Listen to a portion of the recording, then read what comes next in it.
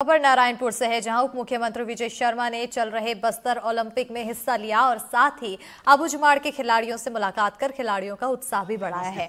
दौरे के दौरान उप मुख्यमंत्री ने आत्मसमर्पित नक्सलियों के पुनर्वास के लिए चिन्हित स्थल का निरीक्षण किया है।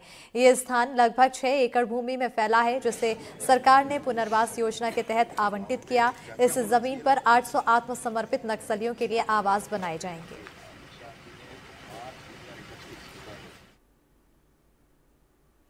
कटनी ज़िले में अंतरशालीय विज्ञान प्रदर्शनी का आयोजन किया गया है। प्रदर्शनी में शामिल छात्रों ने प्रदर्शनी लगाकर लोगों को जागरूक करने की कोशिश की और कुछ बच्चों ने हेल्थ जागरूकता तो किसी ने ब्लाइंड लोगों के लिए सेंसर, शूज़ और वाटर प्यूरिफायर समेत अन्य प्रदर्शनी लगाई। बताते चले कि शिक्षा शोध समिति की ओर से अंतरशालीय विज्ञान प्रदर्शनी का आयोजन किया है। इस पर देखिए रिपोर्ट।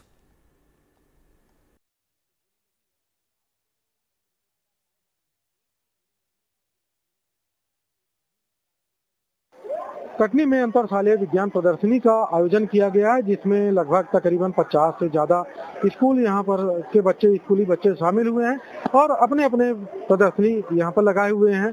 और क्या क्या हम बच्चों से बात करेंगे, तमाम लोगों की भीड़ है, जिज्ञासा यहाँ पर। ये जैसे जो है, ये जो है प्रोजेक्ट दृष्टि डीपीएस करने की द्वारा जो है ये बताइए क्या बनाया आपने क्या खासियत है इसकी? इसमें ये ब्लाइंड पर्सन के लिए जो विजुअली इम्पेयर्ड होते हैं जिनको दिखता नहीं ये उनके लिए प्रोजेक्ट है।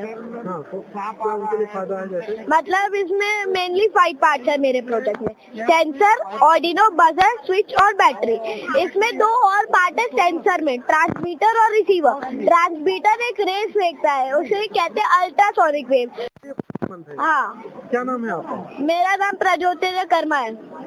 देखिए, जो बता रहे हैं कि किस तरह से इन्होंने, छोटे से बच्चे हैं अभी, लेकिन जो बता रहे हैं किस तरह से उन्होंने प्रोजेक्ट बनाया यहाँ पर, लोगों को दिखा रहे हैं और भी बात करेंगे यहाँ पर कि किस तरह से यहाँ पर आप देख सकते हैं, तमाम ये ट्रीटमेंट है वाटर प्योरीफायर वेस्ट वाटर को आपने किया है।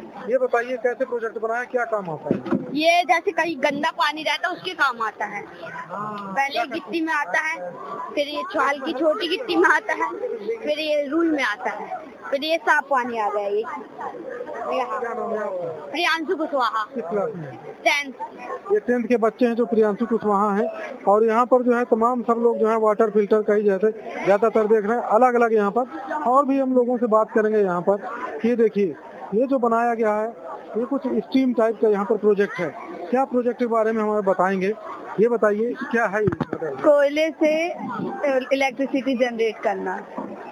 इसमें कोयला कन्वेंसर चैम्बर से कोयला कोल माइन से कोल इस कोल माइन से ट्रेन और ट्रक की सहायता से कोलियाट तक आता है। कोलियाट में इसको बारीक पाउडर में पीस कर कन्वे चैम्बर में आता है। कन्वेसर चैम्बर में ये कन, कोल बंकस में जाता है कोल बंकस से कोल माइन में जाता है। कोल बंकस से कोल माइन में इसको बारीक पाउडर जो होता है उसको कन्वेंसर चैम्बर में छिड़कता है जिससे ये जलता है और जलने के बाद इसमें उष्मा उत्पन्न होती है। ये फिर बॉयलर में जाता है। बॉयलर में वाटर सप्लाई होता है। वाटर सप्लाई के कारण इसमें स्टीम जनरेट होता है। स्टीम जनरेट के बाद ये टरबाइन में जाता है और इलेक्ट्रिसिटी इसमें जनरेट होती है। इलेक्ट्रिसिटी से जो हमारे घरों तक पहुँचती क्या नाम है आपका?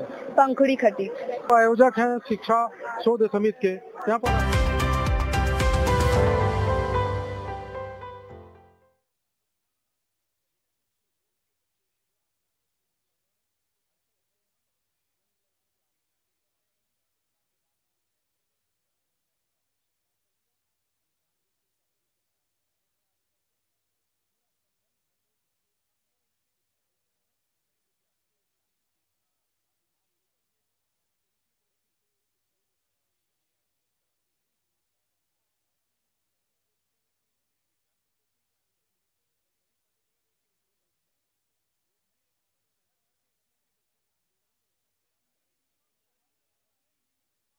मैं पूरे विजयपुर विधानसभा क्षेत्र की जनता को अपनी ओर से